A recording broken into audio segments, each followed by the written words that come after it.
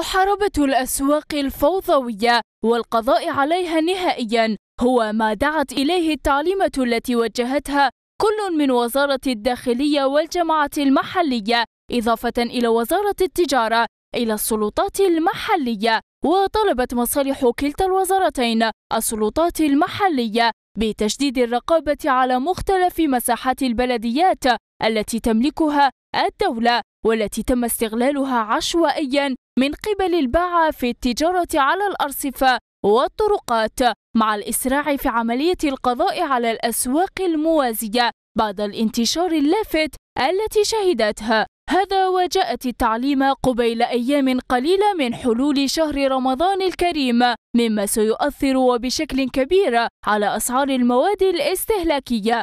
خاصة وأن هذا الشهر يعرف إقبالا واستهلاكا كبيرين من قبل المواطنين.